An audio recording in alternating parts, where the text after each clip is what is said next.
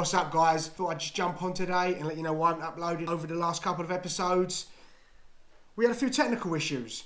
Okay, the hard drive stopped working one day, then I was supposed to get picked up to go somewhere, we arranged something, and the boys they let me down.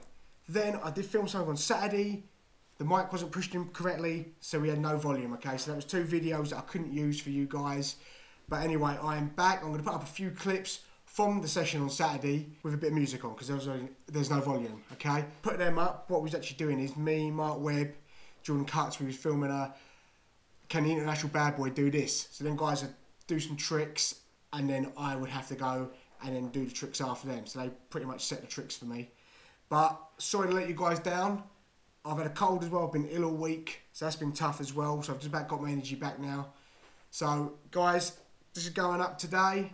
Keep your eyes out for Sunday because we get straight back on it and back to the episodes on the Sunday and the Wednesday.